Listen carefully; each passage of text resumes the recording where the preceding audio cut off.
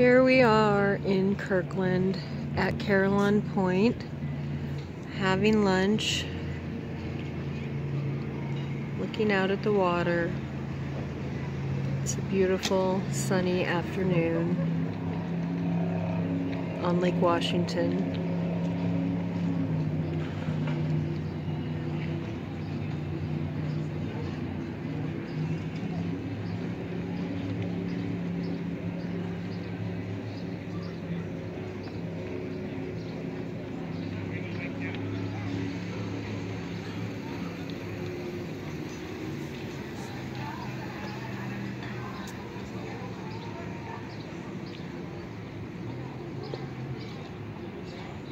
And there's my mom